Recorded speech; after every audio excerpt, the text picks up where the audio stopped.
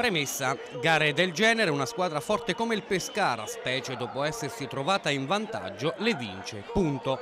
E invece i biancazzurri riportano da Cava dei Tirreni un punticino discreto ma che lascia parecchio amaro in bocca, innanzitutto per le occasioni sciupate di chiudere il match una volta messo il muso avanti in avvio di ripresa, ma anche perché la Cavese ha acciuffato il pari grazie a tanto ardore agonistico e nulla più penalizzante. Pure un arbitraggio, quello del signor Barbeno di Brescia, che nega un rigore netto su Zizzari e che regala la punizione da cui scaturisce il paricavese. E allora bisogna accontentarsi, d'altronde l'amalgama è ancora un miraggio per il crucciato Cuccureddu che a fine gara non si presenta in sala stampa per impegni personali. E ancora, l'assenza imprevista di Tognozzi in mediana e quella ancora più pesante di Bebi Marcolino Verratti, cui magari affidarsi nel finale in mezzo al temporale trasformatosi in grandinata.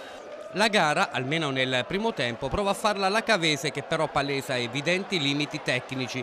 Le folate dell'ex teramano Favasuli e di Schetter portano a cross buoni per le inzuccate di Tarantino e dello spilungone Turienzo, entrambe fuori bersaglio. Più problematico il tiro franco di Tarantino al tredicesimo, su cui Pinna è costretto al grande intervento. Poi sale, seppur in modo compassato, il Pescara, che si fa vedere dalle parti di Russo con la bordata murata di Bonanni e soprattutto con l'incursione aerea del generoso ma poco servito Zizzari che va giù sul contrasto con Cipriani. L'arbitro è a due passi, il rigore sembra evidente ma si continua a giocare. I 36 afosi gradi dell'Amberti evidentemente offuscano i riflessi.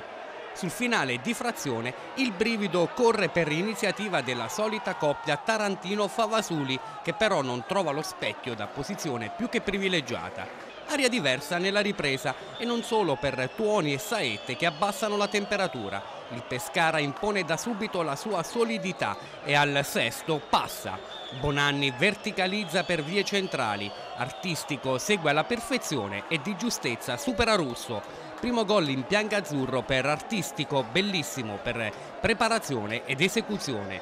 La Cavese accusa il colpo, per una decina di minuti gli Aquilotti girano a vuoto.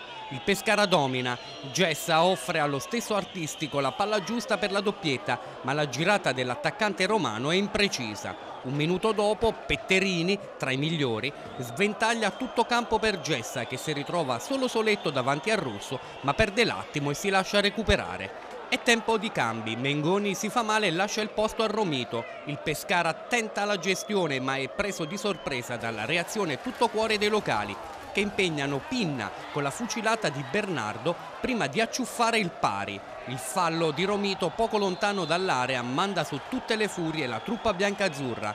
Il motivo si capisce un attimo dopo quando Farina scaglia il fendente che apre la barriera e che Pinna vede infilarsi alla sua destra. E se non bastassero le recriminazioni già descritte in precedenza, ecco in pieno recupero l'ultima chance sulla punizione tagliata di Coletti che esalta Russo e sulla successiva conclusione di Dettori che termina col fuorigioco dello stanco e mal piazzato Zizzari.